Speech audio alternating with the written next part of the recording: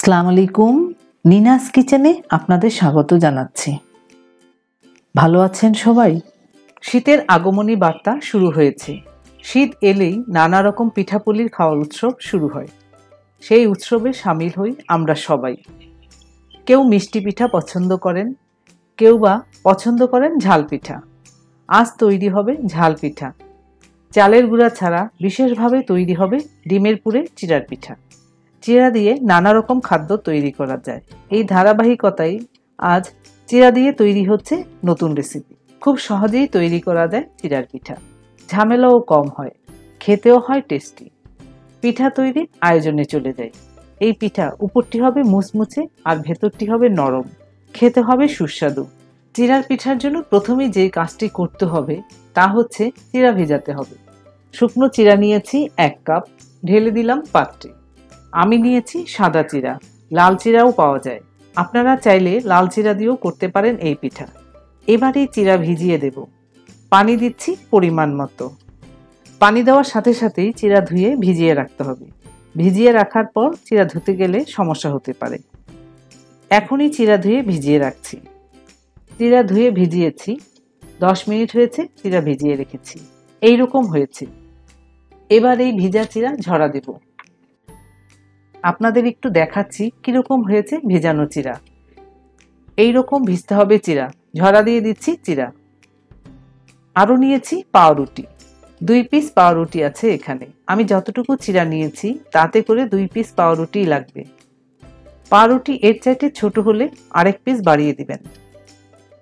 পাউরুটির এই সাইডগুলো কেটে বাদ দেব। এগুলো বেশ শক্ত। এই সাইডগুলো কেটে বাদ দিচ্ছি। এবার টুকরো করে নিচ্ছি পাউরুটির পিসগুলো। প্রথমে লম্বা করে কেটে নিলাম। তারপর এভাবে ছোট ছোট টুকরো করে নিচ্ছি। ইচ্ছে হলে এই পাউরুটি হাত দিয়েও টুকরো করা যাবে। হয়ে গেল পাউরুটির টুকরো। নিয়েছি দুটো ডিম। এই ডিমে দিয়ে দিচ্ছি আধা চা চামচ লবণ। কাটা চামচ দিয়ে লবণ মিশিয়ে দিচ্ছি ডিমের মধ্যে। চুলাতে পাত্র বসিয়ে রেখেছি। এর মধ্যে পাত্র গরম হয়ে গিয়েছে। দিয়ে দিচ্ছি তেল এক টেবিল চামচের মতো। তেলও গরম হয়েছে। এই তেলে দিয়ে দিলাম একটি ডিমের গোলা। ডিমের গোলাটি পাটিসাপটার পিঠার মতো ছড়িয়ে দিচ্ছি। এক মিনিট হয়েছে উল্টে দিচ্ছি। আরও এক মিনিট ভেজে নেব। ভাজা হয়েছে, উঠিয়ে নিচ্ছি। ঠান্ডা হওয়ার জন্য রেখে দিচ্ছি। এইদিকে চিরাও ঝরা হয়েছে। ভিজানো চিরা বড় পাত্রে ঢেলে দিচ্ছি। লবণ দিচ্ছি আধা চা চামচ। এবার চিরা ভালো করে মেখে নরম করে নিচ্ছি আগে। মাখা চিরা দেখতে এরকম হবে। এবার এই চিরাতে দেব টুকরো করা পাউরুটি। অর্ধেকটা দিয়ে চিরার সাথে মেশাচ্ছি। চিরার পিঠা তৈরি করে হালকা ভেজে ডিপ ফ্রিজে রেখে দিতে পারেন। পরে সুবিধামতো ভেজে সকালে বা বিকেলে চায়ের সাথে পরিবেশন করতে পারেন আপনারা। পাউরুটি যেহেতু শুকনো, তাই এই পাউরুটি ভেজানোর জন্য পানি বা দুধ দেব। আমি দুধ নিয়েছি। এখানে আধা কাপ দুধ আছে। অল্প করে দিতে হবে। একবারে দেওয়া যাবে না। এবার বাকি পাউরুটির টুকরো দিচ্ছি। আবারও দুধ দিলাম অল্প করে। দুধ বেশি পড়ে গেল তেমন সমস্যা হবে না। তখন পাউরুটির পিস বাড়িয়ে দিবেন। তবে চেষ্টা করবেন মাপ ঠিক রাখার জন্য। তৈরি হবে চিরার পিঠা। এবার দশ পনেরো মিনিটের জন্য রেখে দিচ্ছি। তখন পাউরুটি ভিজে যাবে। পাউরুটি আগে ভিজিয়ে রাখা যাবে না। পাউরুটি আগে ভিজিয়ে রাখলে বেশি নরম হয়ে যাবে, তখন পিঠা বানাতে আমাদের সমস্যা হবে। এবার আবার ডিমের কাছে চলে যাই। এর মধ্যে ডিমও ঠান্ডা হয়েছে। ভাজা ডিম চিকুন করে কেটে রেখেছি। জিরার পুর তৈরি করব এবার। এখানে আধা কাপের বেশি পেঁয়াজ কুচি আছে। পেঁয়াজ কিউব করে কুচি করে নিয়েছি। অর্ধেকের বেশি দিয়ে দিচ্ছি, একটু রেখে দিচ্ছি। দিচ্ছি আদা কুচি দুই চা চামচ। কাঁচামরিচ কুচি দিচ্ছি দুই চা চামচ। গোলমরিচ গুঁড়া দিচ্ছি এক চা চামচ। দিচ্ছি ভাজা জিরা গুঁড়া এক চা চামচ। এখানেও লবণ দিব। লবণ দিলাম আধা চা চামচ। আমি প্রতিটা জিনিসের মধ্যে অল্প অল্প করে লবণ দিয়েছি। এবার সব মশলা একসাথে মেখে নিচ্ছি। মশলাগুলো হালকা হাতে মেশাতে হবে। দিয়ে দিচ্ছি কুচি করা ডিম। আবারও মাখাচ্ছি পেঁয়াজ মরিচের সাথে কুচি করা ডিম। ডিম পেঁয়াজের সাথে মিশালাম। এর মধ্যে দিচ্ছি পুদিনা পাতা কুচি দুই টেবিল চামচের মতো। পুদিনা পাতা কুচি ইচ্ছে না হলে বাদ দিতে পারেন।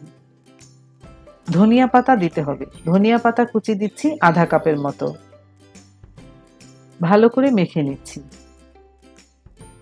এবার আবার দিচ্ছি অবশিষ্ট পেঁয়াজ কুচি। ডিমের পুর তৈরি করে নিলাম। এবার দেখি কেমন হলো চিরা। এইটুকু দুধের আর প্রয়োজন পড়েনি।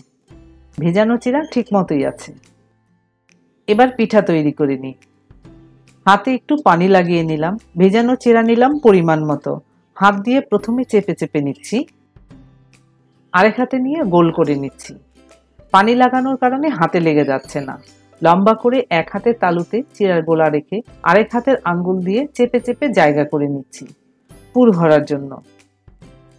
পুর ভরে নিচ্ছি পরিমাণ মতো। এভাবে প্রথমে মুখ চেপে বন্ধ করে নেব। তারপর লম্বা বা গোল করে বানিয়ে নেব। আমি লম্বা করে বানিয়ে নিলাম একটি। আবারও একটি করে দেখাচ্ছি, সেই একই রকম করে চিরার গোলা নিচ্ছি। পরিমাণ মতো পুর দিলাম। আবারও সেই একই রকম করে মুখ বন্ধ করছি। এই পিঠাটি গোল করে তৈরি করলাম। এভাবে কিছু তৈরি করে দেখালাম। দেখে নিলেন তো, চালের গুঁড়া ছাড়া চিরা দিয়ে কত সুন্দর করে পিঠা তৈরি করে দেখালাম। দিচ্ছি পরিমাণ মতো তেল। তেল গরম করে নিয়েছি, পিঠা দিয়ে দিচ্ছি। এক মিনিটের মতো হয়েছে, একটু নেড়ে দিচ্ছি, উল্টিয়ে দিচ্ছি না। উল্টানোর সময় হয়নি। চুলা মাঝামাঝি রেখে দিলাম। পিঠার সাথে সাথে উল্টানো যাবে না, যখন গরম হবে পিঠাটি কিন্তু নরম হয়ে যাবে। তাই একটু সাবধানেই নাড়াচাড়া করতে হবে প্রথম দিকে। পিঠার চারপাশ দেখা যাচ্ছে বাদামি হয়েছে, এবার উল্টিয়ে দেওয়া যায়। এই পিঠাটি নারিকেলের পুর দিয়েও করতে পারেন আপনারা, যারা মিষ্টি খেতে ভালোবাসেন। শেষের দিকে চুলারাস মাঝামাঝির চেয়েও কমিয়ে দিতে হবে। পিঠা ভাজা হয়ে গিয়েছে এই পিঠা ভাজা হতে তিন চার মিনিটের মতো সময় লাগবে। ডিমের পুরে চিরার পিঠা হয়ে গিয়েছে। এবার উঠিয়ে নিচ্ছি। চিরার পুরের এই পিঠা গরম খেতে ভালো লাগবে বেশি। আপনারা এই পিঠাটি তৈরি করে খেয়ে আমাকে জানাবেন কেমন হয়েছে। আমি অপেক্ষায় রইলাম। আপনারা ভালো থাকুন, সুস্থ থাকুন, ঘরে থাকুন। ধন্যবাদ সবাইকে আমার ভিডিওটি দেখার জন্য। আপনারা ভালো থাকবেন ভালো থাকবেন সবাই।